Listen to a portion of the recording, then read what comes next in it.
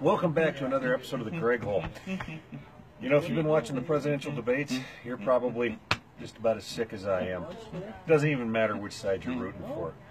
So I've decided it's time to throw my hat in the ring and run for president. That's right.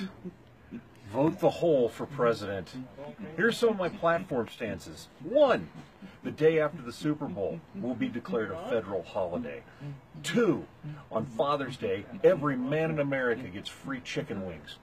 Three, moms, we're not going to forget about you. You get a new vacuum on Mother's Day. And I'm talking a Dyson, not some crappy brand. Other than that, I'm not doing a thing. I'm not doing one single thing to do anything.